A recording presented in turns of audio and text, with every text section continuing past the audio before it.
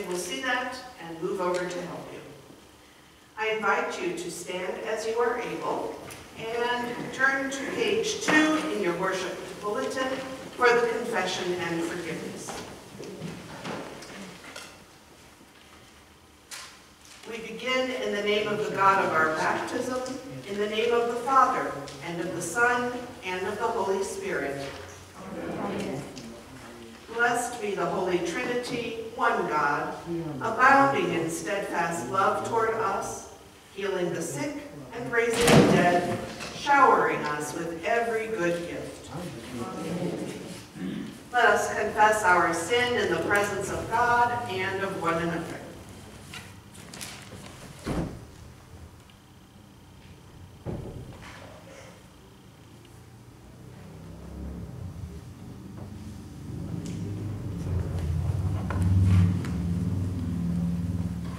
Just and gracious God, we come to you for healing and life. Our sins hurt others and diminish us. We confess them to you. Our lives bear the scars of sin. We bring these also to you. Show us your mercy, O God. Bind up our wounds, forgive us our sins, and free us to love for the sake of Jesus Christ, our Savior. Amen. The Apostle Paul assures us, when we were dead in our trespasses, God made us alive together with Christ, nailing the record of our sins to the cross.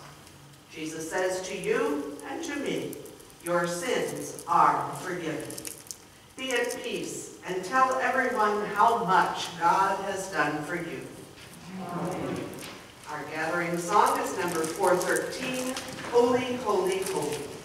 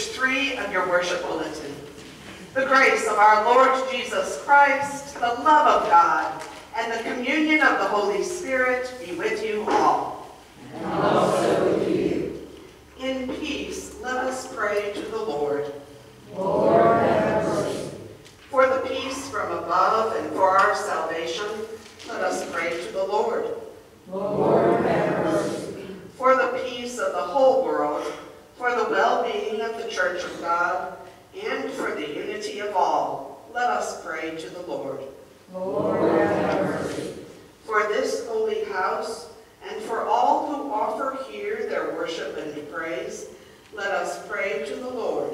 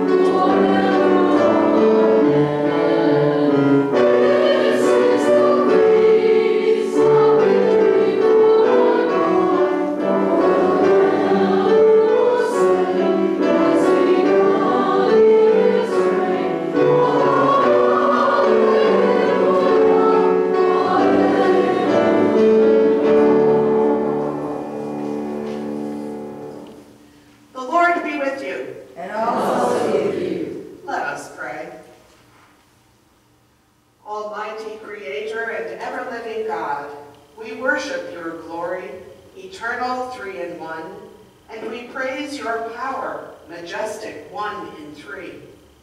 Keep us steadfast in this faith, defend us in all adversity, and bring us at last into your presence, where you live in endless joy and love, Father, Son, and Holy Spirit, one God, now and forever. Amen. Please be seated.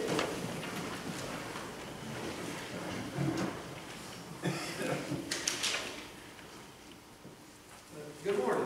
Good morning. Uh, Welcome Pastor Mary this morning. Um, She will be our supply for at least next Sunday anyway, right?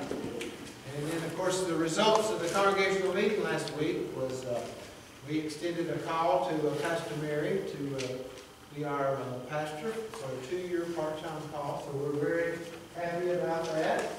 And, um, and uh, I will let her address that more if she wants to this morning or later.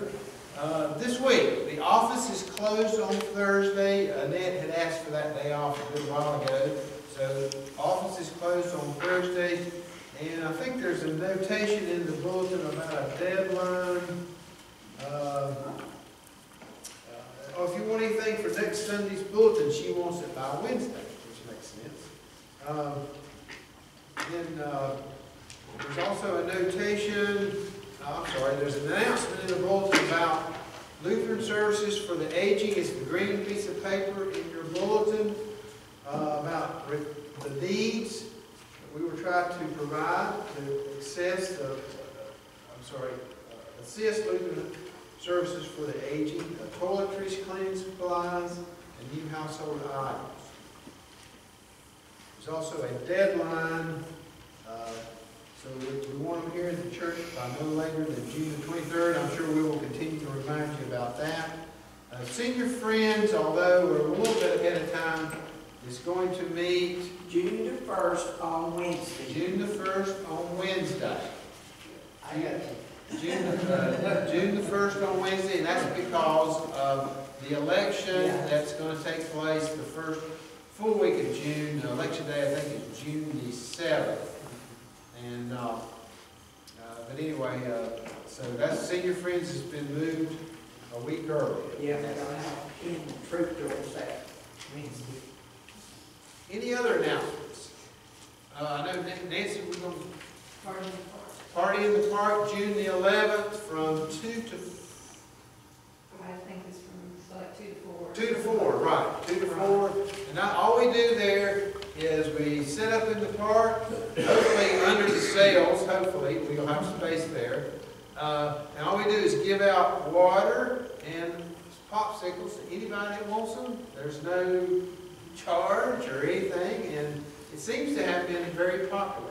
Uh, Right, and if anybody wants to donate either the small bottles of water or the popsicles, you The can little put them in. bitty water. Yeah, we'll put them in the, uh, kitchen and I'll pick them up. and take them to the park. Anything else? Uh, Monroe, then the very next day, um, my students will have their piano recital here at three. Three o'clock on the twelfth. What's the time of the park? Uh, June the eleventh, that's a Saturday, from two to four. Yeah, two to four. And this will be the third year we've done it, and both, both times it's been, now, we've had good weather. And it hasn't been raining, it's been hot, or not overly hot, but it's, it's been very busy, there's a lot going on. Uh, Last year was very overly hot. Okay, last year was over hot, excuse me. And, uh, we bring friends and we take our little folders that have been left over from several Sundays, so the kids want to color.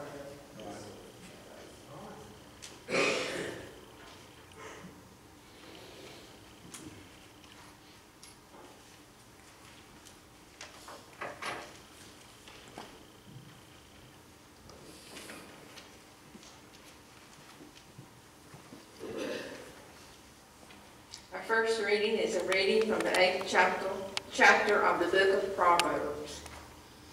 Does not wisdom call, and does not understanding raise her voice? On the heights beside the way, at the crossroads she takes her stand. Beside the gates in front of the town, at the entrance of the portals, she cries out, To you, O people, I call, and my call is to all that live. The Lord created me at the beginning of his work, the first of his acts of long ago. Ages ago I was set up, at the first, before the beginning of the earth. When there were no depths, I was brought forth, when there were no springs abounding with water. Before the mountains had been shaped, before the hills, I was brought forth. When he had not yet made earth and fields, or the world's first bit of soil. When he established the heavens, I was there. When he drew a circle on the face of the depths, when he made firm the skies above, when he established the fountains of the deep, when he assigned to the sea its limits, so that the waters might not transgress his command, when he marked out of the foundations of the earth. Then I was beside, beside him like a master worker, and I was daily his delight, rejoicing before him always, rejoicing in his inhabited world, and delighting in the human race.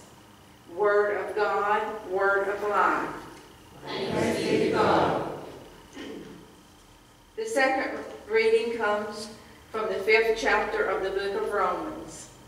Therefore, since we are justified by faith, we have peace with God through our Lord Jesus Christ, through whom we have obtained access to his grace in which we stand, and we boast in our hope of sharing the glory of God. And not only that, but we also boast in our suffering, knowing that suffering produces endurance, and endurance produces character, and character produces hope. And hope does not disappoint us because God's love has been poured into our hearts through the Holy Spirit that has been given to us. Word of God, word of life. Thanks God.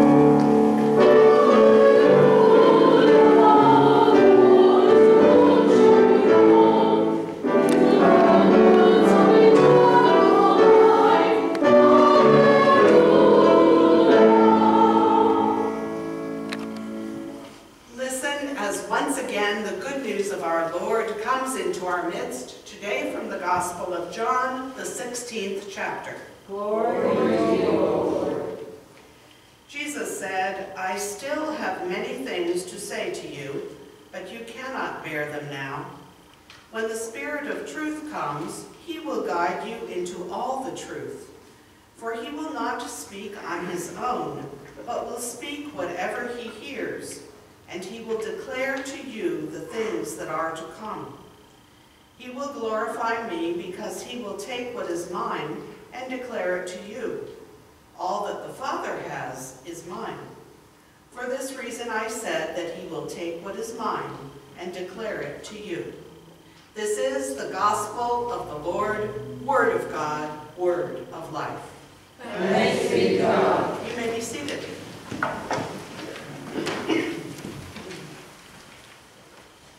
First, I would like to say thank you. Uh, Thank you for your vote last week. Uh, When Monroe called me, um, I said to him, "Now, you do not understand that I have 30 days to decide whether or not to accept." And he sort of paused and said, "Yes." And I said, "I accept."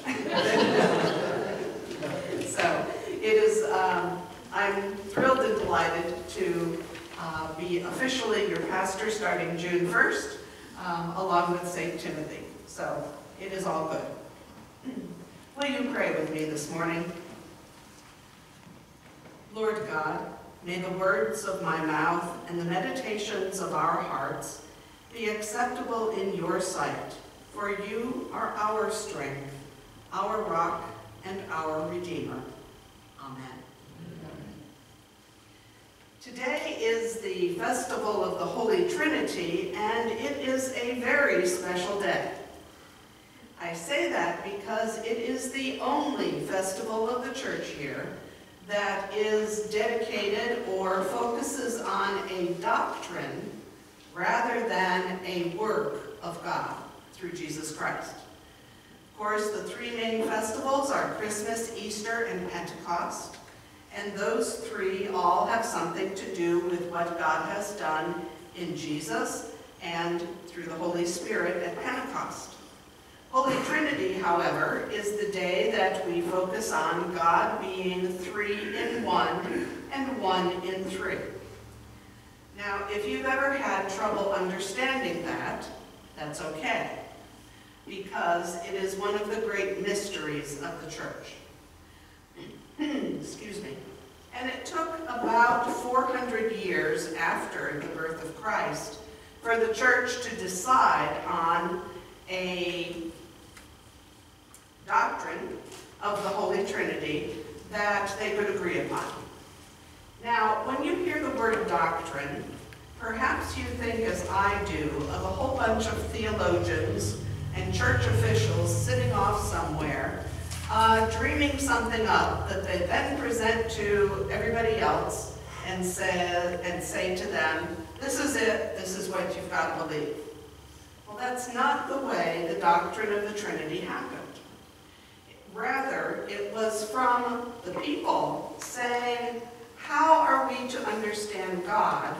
And because you see, God is the creator, and yet God came to earth as Jesus, who called God his Father, and Jesus came as true God and true man, and then after Jesus left, the Holy Spirit came. And Jesus said that the Spirit is also one with God the Father. How are we to explain or understand all of that? And that's how, from the questionings of people, from people then getting together and proposing various things, that it came to be that we have the doctrine of the Holy Trinity.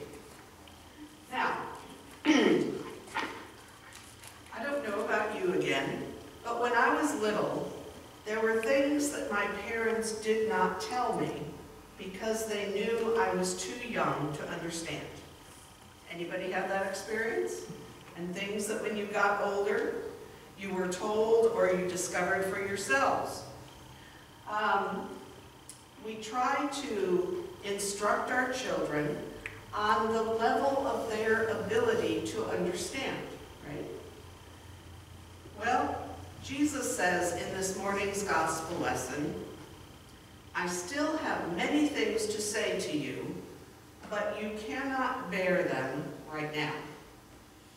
And I think what he's talking about is that Jesus had so much to share with us, being God, but we couldn't bear it because we couldn't understand it. Because our understanding level of God, of the universe, is as a child's is to an adult. We still have to believe, or we do believe, that God is bigger, and God knows more, and God envelops everything. And we can only begin to comprehend a tiny bit about God. So Jesus says, there are many things that I want to tell you, but I can't do it right now because you cannot handle it. But I will send the Spirit, and the Spirit will reveal to you. And I suspect that that revelation is an ongoing one as we are able to understand. Now, the doctrine of the Trinity has been explained or tried to be explained in many ways. One of the ways is with an image that's in the window as you go out. There is a triangle back there in blue. And a triangle, as you know, has three points, but is one figure. And so people have used the, the triangle to represent the Holy Trinity. You have another one in the Trinity banner. You've got the triangle. You have the circle, meaning that God is one and eternal, and you have the cross, Father, Son, and Holy Spirit. Now, each of the times or ways we try to explain the Trinity falls short in some way, and it doesn't quite explain it sufficiently for many people. We call the Trinity one of the central mysteries of the Christian faith. And that's why the Jewish people and the Muslims have a hard time understanding because we don't understand it either. And the Muslims in particular believe that we have three gods, and we don't. We have one God in three persons, as it were. Now the word person comes from persona, which way back when the Greeks understood very clearly, because it comes out of Greek drama. You see, when the Greeks did drama, they used various masks. So pretend there's a face on here. And they would hold the mask up in front of their face and be a particular character in the drama. And then they would, the same person would take a different mask and put it in front of their face and become a different person. And so, and they would call these personas. So the church fathers adopted this as a way to talk about God. Three persona, one God. Now, um, the translation of persona to person tended to get people confused. Because when we think of person, we think of one individual. And how can one individual two individuals, three individuals, be one? Good question. We don't know. Another way of trying to explain or illustrate the Holy Trinity would be to take three matches, three separate matches. If I had three hands, it would be really helpful, but I don't, so I'll have to use fingers. And imagine a flame from each of those three matches. And then imagine putting the matches together, and you'd still have three matches, but there would just be one flame. Another way that doesn't really do it justice, but it's a metaphor. Um, something that gives us a hint of what God really is. Now, you may ask, okay, so we don't understand it, so it's a mystery, so what's it good for today? Or how does that help us in our lives? And I think it helps us because it reminds us that there is so much in life that is still a mystery. And much of it we're not going to be able to understand until we see God face to face. St. Paul says, Now we see in a mirror but dimly, then we shall see face to face, and we will be fully known, and we will fully know. There is much about life that has been explained over the centuries. We've um, identified atoms and smaller bits of energy and pieces. We've gone to look at the stars with telescopes, with um, rockets that have gone to the moon, and exploration beyond. And yet, there is still so much that we don't understand. We don't really understand how the human heart works. We don't really understand how or why many things in our lives happen. And I think that we can take a little bit of comfort from the doctrine of the Holy Trinity, realizing that as we accept that on faith, and accept it as a mystery that we can't understand right now, that these many other things in our lives that remain mysteries, that we don't understand, that one day we will understand. And maybe right now, it's not ours to understand because we are, as children, to an adult in terms of understanding. We are children of God. And God knows how much we can understand and how much we can bear and how much or how limited we are as human beings. So we don't know all the answers. We don't know why there are illnesses. We don't know why there is death. Or we don't understand why some people who smoke a pack a day live to be 101, and why others who haven't smoked at all die of lung cancer. We don't know and we can't explain it.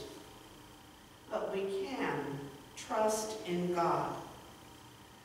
Trust in God that despite our limited understanding, the things that we know for sure are that God loves us. God created us. God sent Jesus to heal and to save. And God has sent the Holy Spirit, a spirit that gives us strength and power to proclaim what we know that God has done. And through all of the mysteries of our lives, we know that God wraps God's arms around us and comforts us and cares for us as a mother or a father cares for their child. So today, I invite you to pay attention to the things that are three and yet one. One of the things in many churches, and indeed is true here, is that there are three steps up to the altar table. Now, you may have thought that that was just coincidence or it was enough to raise up so everybody could see, but instead, it is another symbol or reminder of the Father, Son, and Holy Spirit. Large churches often have a set of three, and then a little platform, and another set of three, and a platform, and another set of three. All to remind us that God is one, and yet Father, Son, and Holy Spirit. May God bless us and keep us in all of the mysteries and all of the things that we don't understand until the day comes when we will see God face to face. Amen.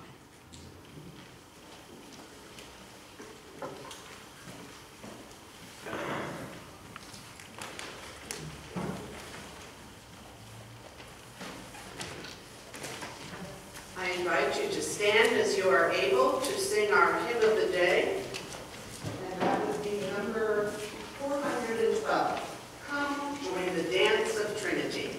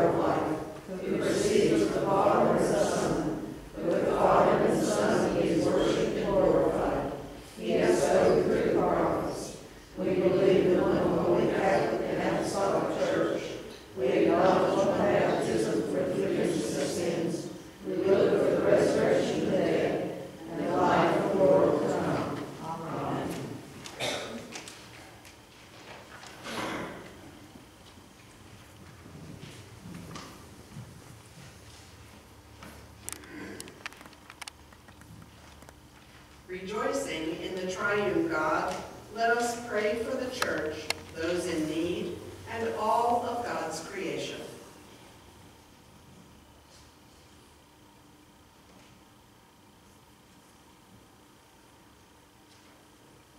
O Lord, our sovereign, your name is majestic in all the earth. Enliven your church by your Spirit to live into the name bestowed on us in baptism. Lord, in your mercy. Hear our prayer. Holy wisdom, we praise and thank you for the mountains and hills, the earth and fields, the sky above, the fountains of the deep, and your delight in the human race. Lord, in your mercy. Hear our prayer. Peace bringing God, the nations of the world are ever and always dependent on the peace that only you give. Guide the leaders of the nation to make choices that lead to peace. Let us pray for our people in service at home and abroad, especially Darlene Cougar, Jeremy Hefner, Annalisa Naran- Narandez, Jason Honeycutt, Michael Mateus, Andrew Phelan, Angelo Martinez, and Michael Smeeball. Lord, in your mercy. Hear our prayer. Truth, heal us, reconcile us, break the bonds of the oppressed, give sanctuary to refugees, end the exile of those who are marginalized, and pour your love into our hearts. Especially, we pray for Fred and Mildred LaFawn, Carol Sims, Tom Wilson, Dick Eisenhower, Betty Eisenhower, Dot Eisenhower, Mary and Wayne Mason, Merle Faye Martin, Thelma Miller, Betty Abernathy, Carol Floyd, Alja Moody, Linda Almond, Thelma Eikert, Agnes Pruitt, Harold Jarrett, Gail Sigmund, Paul and Linda Eisenhower, Kelly Ross, Pete Ross, Chuck Bollinger, Randall Childers, Dot and Lander Baumgartner, Lucy Anders, Arishay Dunbar, Bob Mowers, Trey Busby, Bud Riley, Willow Boston, Shirley Ramsor, Tracy Royal, Angie Hodge, Doris Roof, Richard DeAnders, Millie Kelly, Wendy Gonzalez, and Carolyn Sigmund, Elaine Wilson, Nancy Powell. Lord, in your mercy. Hear our prayer. Father of Jesus, keep us mindful of how we use the name of others. Keep us from bearing false witness and help us honor your name above all others. Lord, in your mercy. O God, you have called the saints your own. Gather us with them into your kingdom in the promise of life forever with you. Lord, in your mercy. Hear our prayer. We lift our prayers to you, O God, trusting your promise to hear us through Jesus Christ our Lord. Amen. The peace of Christ be with you always. And also with you. Please share time to greet one another in Christ's name.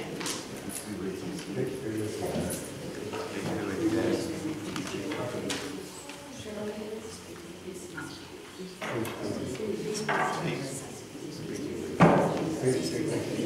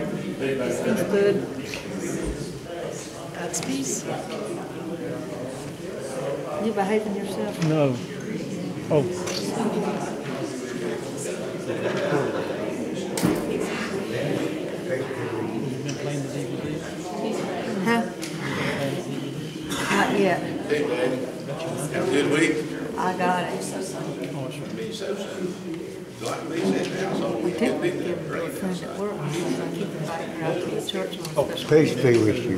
Peace be with you. Okay. Peace be with you.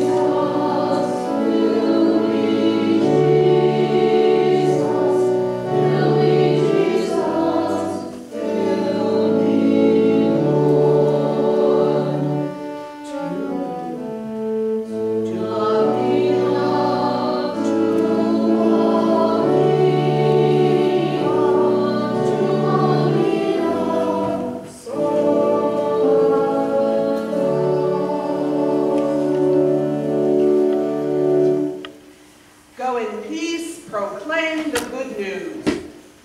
Thanks be to God.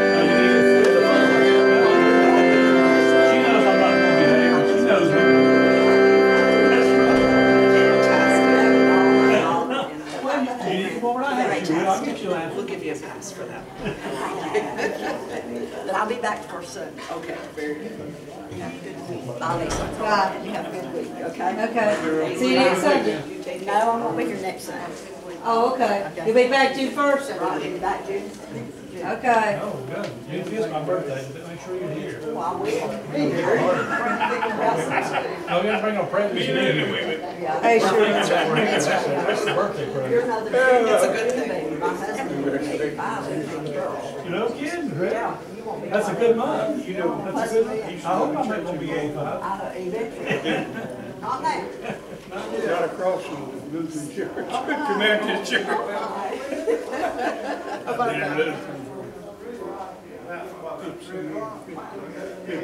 Very good. Have a good one, Shirley.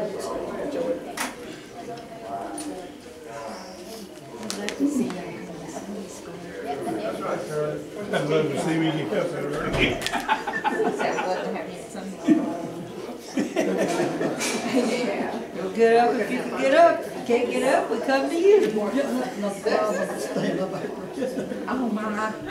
I mean, you know, Getting going. yeah, yeah, All right, big guy. Always good seeing you. Have a good week. I will, I will. I'm standing, walking, it's a good week. Every Still day, working out? get a little better. You still getting, how many, about three days a week? I should be going. You too, Faye. No, it's not ranking. Need some help there, Carol? At least two. You got it or you need help? Yeah, I got it. Three if I keep. I've been going three. I've been going three. I've lost eighteen pounds. You can't tell it, but my belly's gone down a lot. So everybody's gonna be disappointed at Christmas, because I usually do Santa Claus. I ain't gonna make it. Hopefully I won't have to make it this year. what are you doing? Lose, lose all that. I, I had to, I couldn't, I can't breathe. They get all that here and it just pushes up and I can't breathe. I got no wind. So, I do now. I'm doing good. Good. Just called this man right here. He made me go. Didn't you, buddy? Yeah, I did. Yeah, you did. You got me going. Have a good week. Okay, buddy. You take care of yourself now. What? Do